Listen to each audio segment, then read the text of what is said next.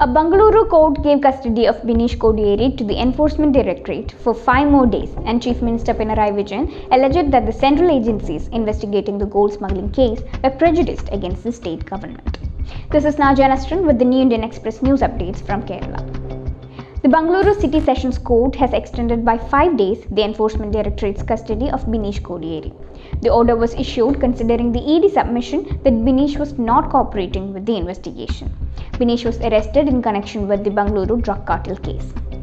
The Kerala High Court directed the Ernakulam Additional Special Sessions Court to defer trial in the actor abduction case involving actor Dileep till November 6.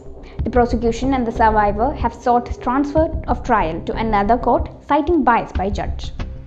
Chief Minister Pinarayi Vijayan lashed out against the central agencies investigating the gold smuggling case, alleging that there was a concerted effort to show his government in bad light. He alleged that the Enforcement Directorate is crossing the limits and trying to interfere in state affairs.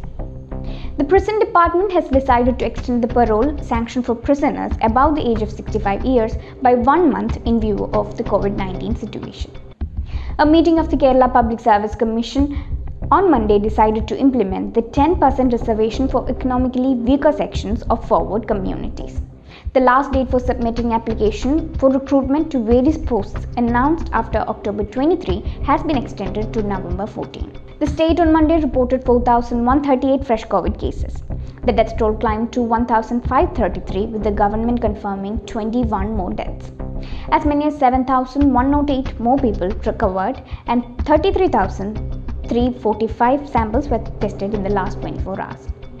The district wise breakup of fresh cases is as follows Kozhikode 576, Ernakulam 518, Alappuzha 498, Malappuram 467, Thrissur 433, Thiruvananthapuram 361, Kollam 350, Palakkad 286, Kottayam 246, Kannur 195, Idukki 60, Kasaragod 58, Wayanad 46 and Pathanamthitta 44.